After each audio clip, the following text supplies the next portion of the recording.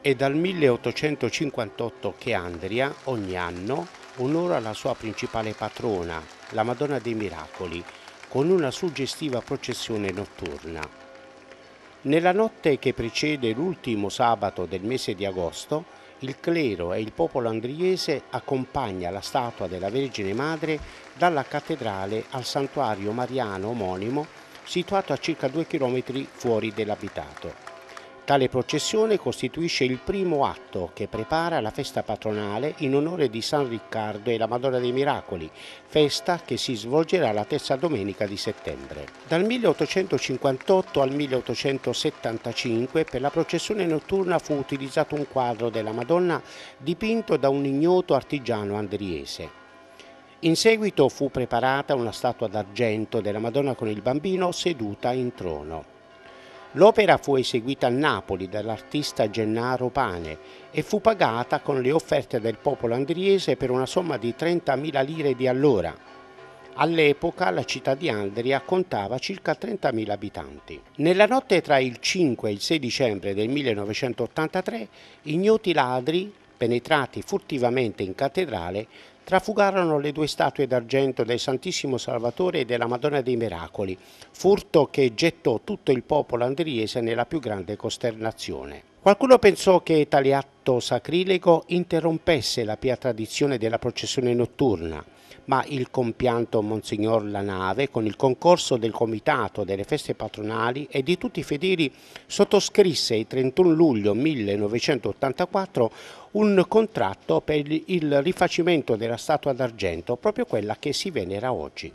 Una scia di luci anche questa notte ha accompagnato la Madonna dei Miracoli al suo sontuoso santuario, raccogliendo intorno a sé non solo le voci, le preghiere e i canti dei fedeli, ma anche i cuori di tutti i devoti che alla Vergine Madre affidano i loro desideri e le segrete speranze di speciali grazie. Ella, seduta in trono, con il bimbo sulle ginocchia, percorre le vie della città assicurando con il suo passaggio quella protezione materna che sempre ha effuso su tutti i suoi figli. Il grande afflusso di gente alla processione di questa notte è segno di una filiale e secolare devozione del popolo andriese alla sua Madonna chiamata dei miracoli, a causa dei moltissimi miracoli da lei compiuti fin dal rinvenimento dell'affresco in quella grotta che viene chiamata Laura di Santa Margherita. Da quel lontano 10 marzo del 1576 la Madonna non ha mai cessato di beneficare chi a lei ricorre con fiduciosa preghiera.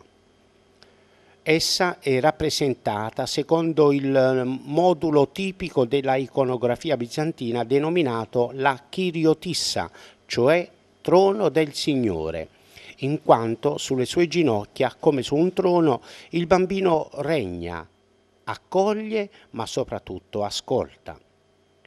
L'affresco, risalente all'VIII-IX secolo, è opera di monaci bizantini fuggiti al, alla persecuzione iconoclasta dell'imperatore Leone III Isaurico e dei suoi successori e rifugiatisi negli anfratti e nelle grotte che il suolo carsico della Puglia offriva loro.